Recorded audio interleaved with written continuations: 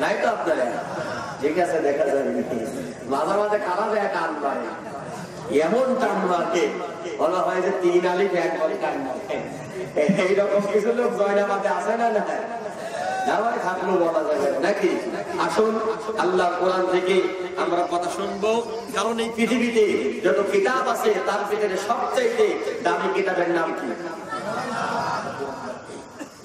আল্লাহ পাক বলেন قل بفضل الله وبرحمته فبذلك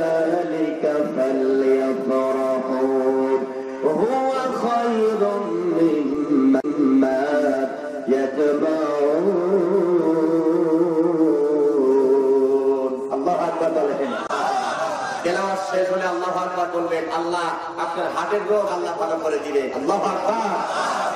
কিয়ামতের কঠিন ময়দানে মসজিদের ঘাট থাকবে উপরে না ইমাম সাহেবের? মসজিদের কেন? কথা কয় না। কি দেয়? কি দিয়ে আজান দেয়? আল্লাহু আকবার আল্লাহু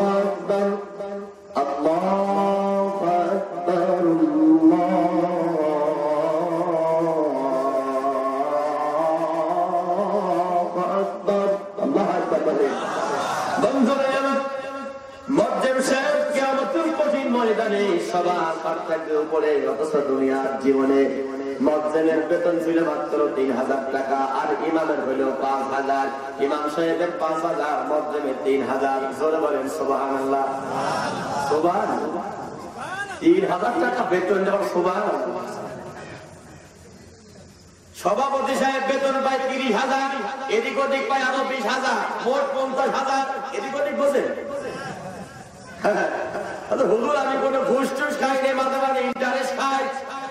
কি খাই? ইন্টারেস্ট খাই, ঘুষ খাই না। এটার মানে যে ওটা পাগলা না। সভাপতি সাহেব পঞ্চাশ হাজার টাকা ইনকাম করার পরেও তার সংসার চলে না। মসজিদের তিন হাজার টাকা বেতন, যদি মসজিদ কয় চাষা একটু বেতন বাড়ান। চাকরি করা লাগবে না।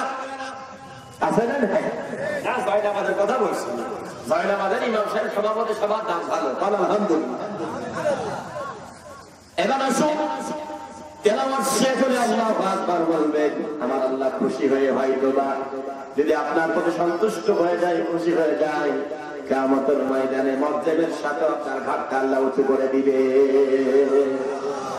এবার আসুন সরাই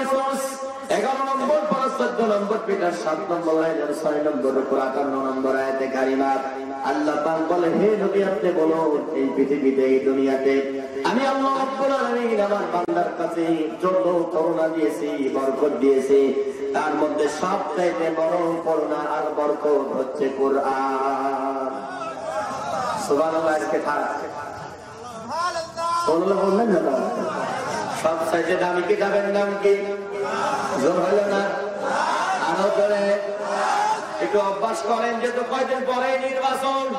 আমার ভাইয়ের চরিত্র ফুলের মতো পবিত্র, নামাজ পড়ে না গাঁজা খায়, তিন ভক্ত ছয়টারে ভক্ত, কথা কয় না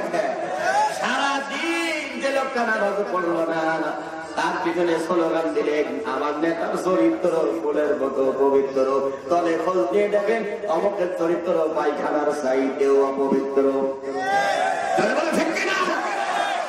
আরে স্লোগান দিচ্ছে, কি জন্যে? শ্রেণীবাদে সাহা দিচ্ছে। হাতে বিড়ি আকিস বিড়ি। শয়তানের দল কার পিছনে স্লোগান দিচ্ছে ফুলের মতো পবিত্র একজন মানুষ ছিলেন তিনি হচ্ছে আমাদের বিশ্ব নবী আল্লাহ পাক বলে ওয়া ইন্নাকা লাআলা